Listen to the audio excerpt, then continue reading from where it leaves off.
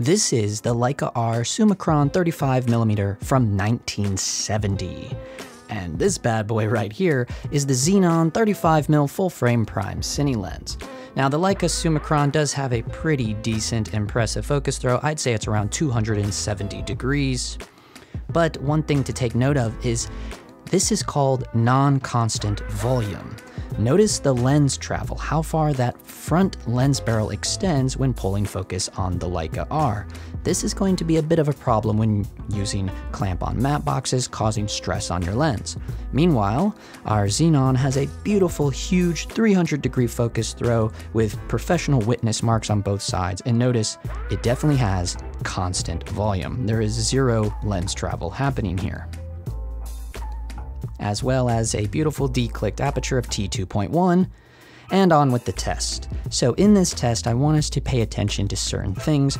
We are looking for image shift, focus breathing, bokeh shape, how it looks in the center of the frame versus the corners of the frame, all of those things, as well as skin tones, contrast, and here we go. Notice that huge image shift right out the bat, a little bit of breathing there to that back bookshelf, and now when we come back, and there's image shift again. Now this is ripped wide open at f2.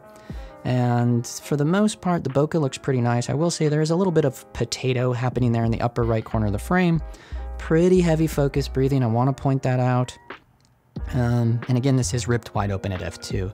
Very sharp though. Okay, now we jumped. There's a huge image shift there when I was trying to pull focus. And now we're doing, and obviously we're stopping down. As soon as you stop down, at f2.8, we start getting these uh, hexagonal bokeh.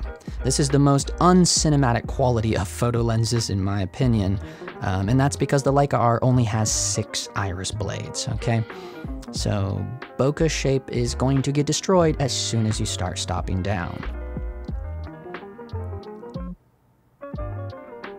And now back, uh, get to see the focus breathing once again and the image shift.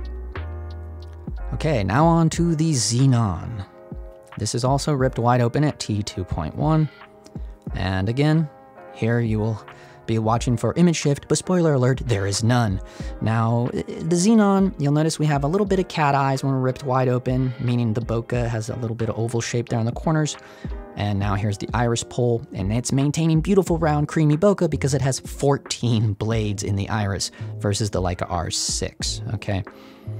And now you'll see zero breathing when we go back to that back bookshelf. And you didn't even feel it move. You didn't even feel the lens move. I know that's not a long distance to go, but you can simply rewind and watch the Leica R again. Now here is the flare test. And the Leica R, again, this one is the 1970 version 1, so this one has a lot more ghosting, a lot more flaring.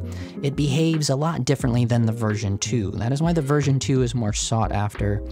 Um, it's a little bit lighter of a lens, but the version 2 also um, does not suffer from as bad ghosting. Uh, however, you know, I would love someone to do a comparison of ghosting and reflections of a Leica R version 1 versus version 2. Now here you'll see the Xenon 35. It's pretty hard to get the Xenon 35 to flare up. However, I did, as I showed in my review of the Xenon lenses, the 75mm and the 25mm are a lot easier to get to flare and they have a little bit more unique characteristics. Whereas this Xenon 35 kind of behaves like my Zeiss Milvises did and, and kind of doesn't flare at all. Now here's the close focusing test. This is, uh, you'll get to see heavy breathing happening again here. Um, we get to go back to see the skin tones. Um, and we're coming back to the close focus of 0.3 meters that that Summicron has. Fairly sharp for being from 1970, but notice how soft it is on the edges there. Now here's the Xenon.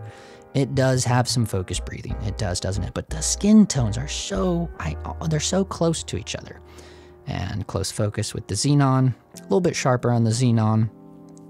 Um, still some breathing, but not as heavy. Certainly no image shift like what we saw in the Leica R.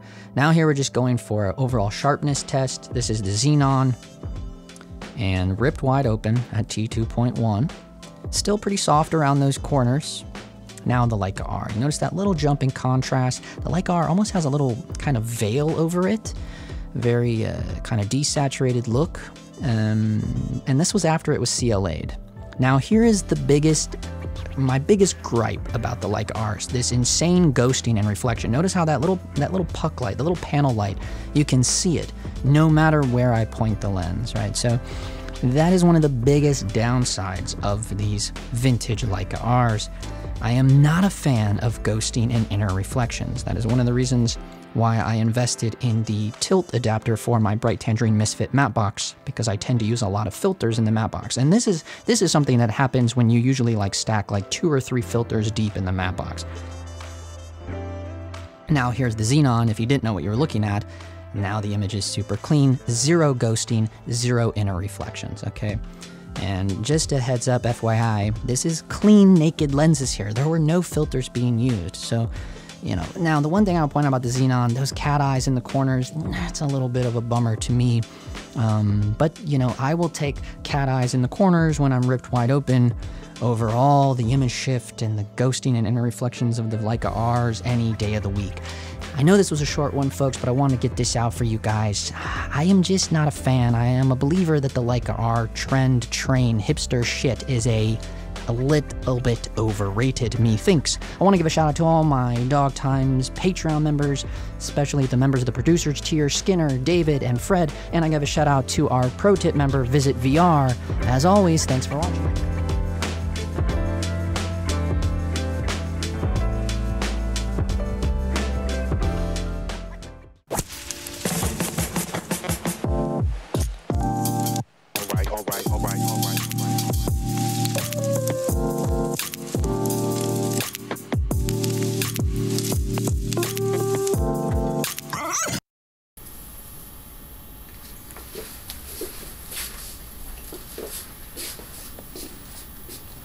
It's got crazy